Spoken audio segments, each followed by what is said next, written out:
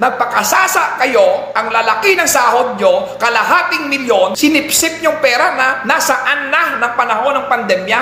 Hindi ba kayo nakakaramdam sa mga plight o mga difficulties ng mga OFWs? Wow! Sana all, JB!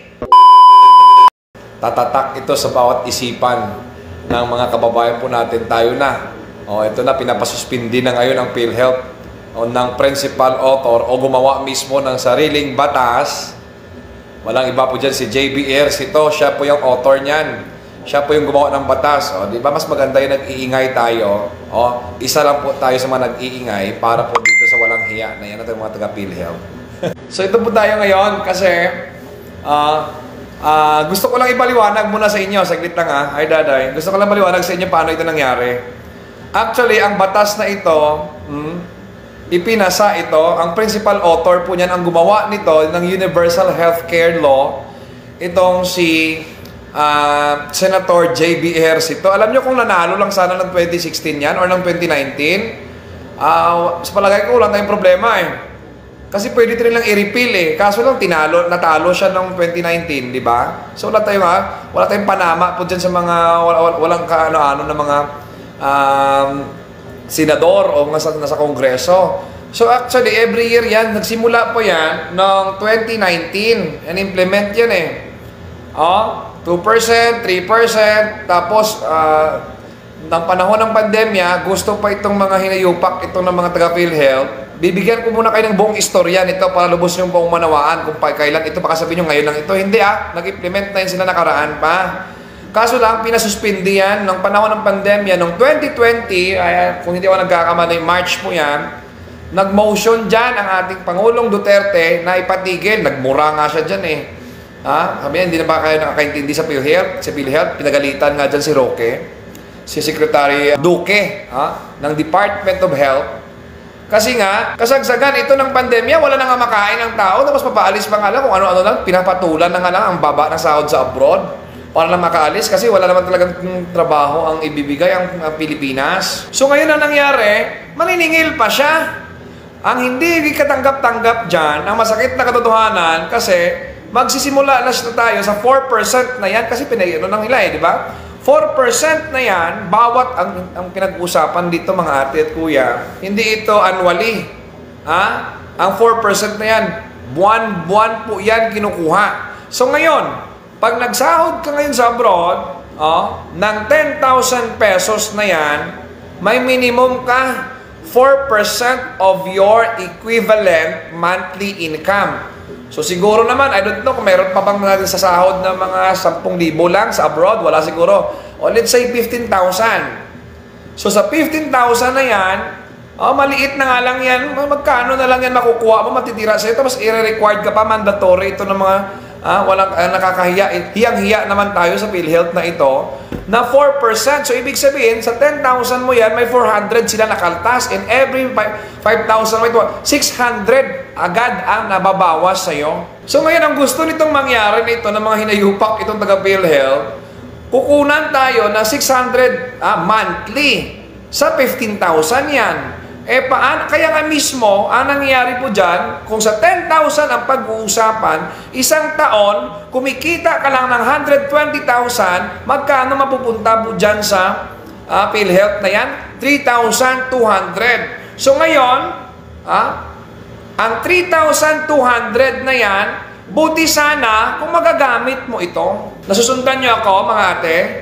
Buti sana kung magagamit nyo ito kasi mandatory ito eh. Annually, pwede tayo maglamsam sa mga OFWs bago ka makaalis, pagbabayarin ka na kaagad. Kaya kung sabi ko dito, hindi pa nakaalis si OFW, mangungutang na tayo. Ha? Pag alis na pag alis mo, naibenta mo na ngayon kalabaw, na isangla mo na ngayong ari-arian mo para makapag-abroad lang kasi natenga ka ng ilang buwan dyan sa agency, o ngayon mangungutang ka naman sa lending para may pambayad ka dyan to secure an OEC, Overseas Employment Certificate na yan. Kasi bago ka kukuha eh. Ha? Hindi ka pa paalisin ng mga hinayupak na to, ng taga POEA na yan. Ha? Ng OEC na yan, requirement.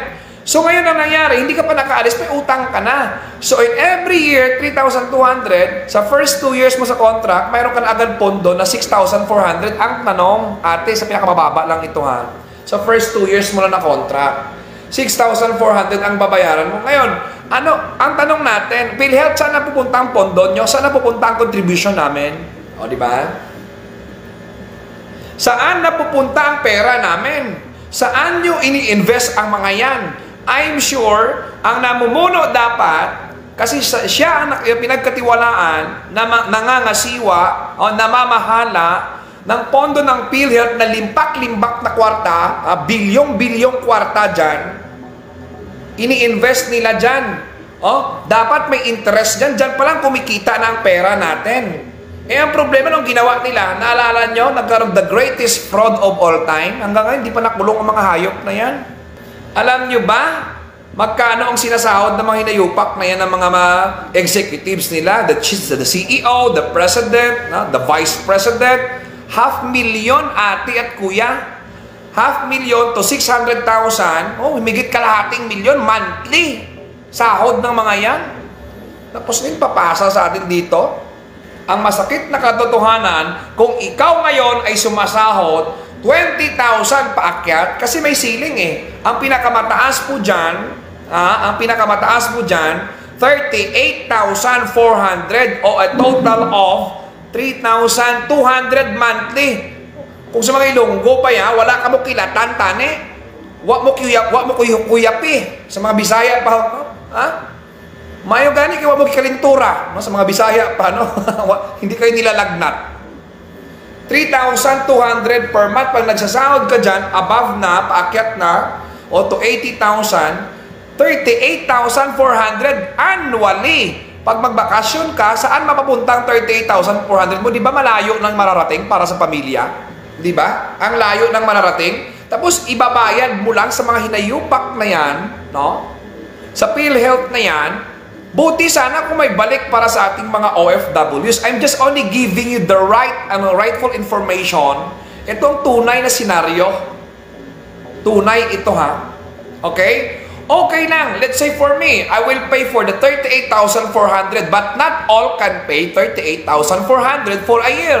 Eh, mang uuwi nga niya, wala nang walang na ang pera eh. Oh, minsan dito ang dami kong ha, ah, mga kababayan natin, umuwi din mismo ticket lang dala. Tapos sasabihin nyo, mga walang hiya kayo, maningil pa kayo, pag bumalik niyan, i-hostage pa ninyo, hindi ka makakabalik sa abroad kung hindi mo itong babayaran. So ngayon ang tanong, saan napupunta ang, saan napupunta ang pondo ng bilyong-bilyong contribution ng mga kababayan natin sa uh, ah, OFW, sa PhilHealth? O, naalala niyo sinabi niyo? Oh, uh, biglang naglaho nawala ang pondo, eh, di ba hinayupak kayo? Sana pinaalis kayo, pinalayas kayo dyan, digong dapat. Ewan ko ba, bakit nandyan pa kayo? Kaya tama lang ito, manawagan tayo kay President Marcos, buwagin yan.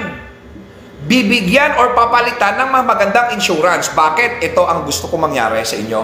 Oh? Ito ang gusto ko mangyari, mga kababayan. Bakit kami magbabayad ng PhilHealth 3,200 or 400 a month na wala kaming balik hindi man ibig sabihin pag umuwi kami after 2 years dyan, ha? alam ko pang panadol lang yan minsan, check up, check up nyo lang dyan eh. Buti sana kung executive check up kami, mga OFWs, pag umuwi dyan. Pag sinabing executive check up, lahat po dyan, blood chemistry, oh, ah, lahat na, mga CBC kompleto na, pati po yung mga special tests. Eh, yung dating, pagdating mo dyan, tatanungin pa contribution mo, ganito, ay ma'am, pang panadol ka lang. Alam mo yung pang panadol, pang paracetamol. yung pang paracetamol, ultimong paburot mo ng ngipin, hindi pa nga libre. Tapos, nagbabayad ka ng 400 monthly, pero pagdating dyan, don't expect, ah, matindi. Matindi sa Pilipinas. Kaya natural, babat natin ito, kung gumagawa ito ng tama, edi, maganda. Ha? So ngayon dito tayo papunta sa ating mga kababayan. Gusto ko lang linawin sa inyo. Kukuha sila 38,400 i-hostage ang kababayan. Huwag kayong aalis. Hindi kayo makakaalis kasi implement ito. Kaya nga sabi ko, hinayupak din itong POEA na ito eh. Do you think batas ba yan? Na i-hostage nila ang OFW? na hindi makabayad ng uh, makabayad ng PhilHealth o pag-ibig kaya kinakarga nila ngayon mandatory na hindi na papalisin kita mo kawalang hiyaan nila Pati nga yung, oh, ah, hindi pa ako tapos. Separate pa yan ng OEC na yan. Hayaan nyo, isa-isahin natin. So ngayon, pumasok ito, si JB Hersito, siya pong principal author. Ah, ayan, ano, naunawaan nyo na anong gusto. Sige lang, mababasa ko rin yan. Tuloy-tuloy tayo. Oh, ang principal author na gumawa ng batas, kasi alam niyo paggawa ng batas kasi uh, bicameral yan, ibig sabihin mayroong kongreso at the same time may senado. Mayroon dapat partner si JB Budyo sa kongreso kasi aakyat yan eh.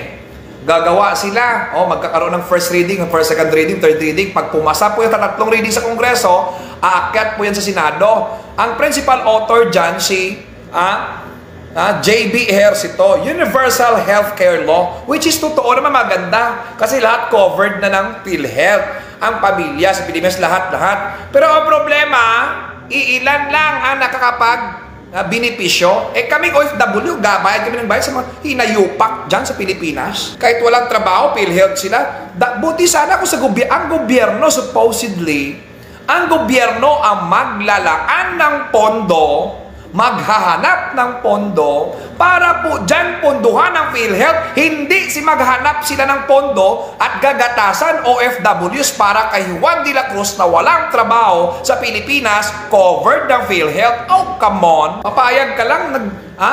nagsusimikap si Pedro Pinduco, tudo kayod si Juan de la Cruz, si Maria Clara nag, ha? Ha? nagpalaki, ha? Mm-hmm. Si Father Damaso dyan, nagpalaki lang ng itlog siya, ay walang problema, kahit magkasakit ako, cover ako ng OFWs. Yun ang nangyari. Yun ang nangyari sa Universal Healthcare Law kasi bakit kasali sila sa binabayaran natin? Ang sarap naman ng mapakiramdam ninyo, mga walang hiya kayo. Nanalo kayo, it's because for that. Pero, ay, na-realize ngayon ito. Na-realize ngayon ito ni JB Ejercito na nasa pandemya pa tayo, hindi pa nakakaraos.